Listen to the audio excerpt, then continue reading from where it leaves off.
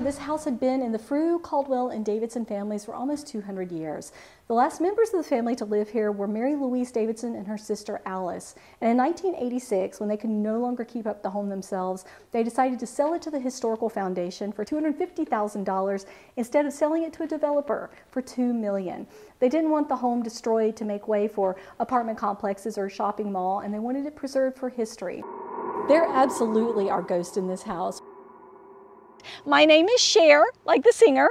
I'll be your tour guide for tonight. Where you're standing now is nine acres of what's left of originally 900. For those of you who are familiar with the Charlotte area, this property once stretched all the way to Noda and Plaza Midwood. Well, we will move in to the Great Hall of the home, right this way. The Great Hall in the home was, of course, the large home in the center of the house. That was where they would have family gatherings, social functions, but they also had wakes and funerals in that room people talk about the thinning of the veil.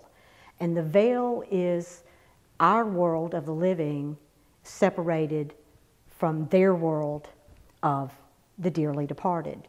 They say that the veil is thinnest around Halloween. We have heard voices, we've heard footsteps. This home preserves some of the heritage of the first settlers in this area. I have never felt uncomfortable or afraid here. We know that all the spirits that are here remain because they want to.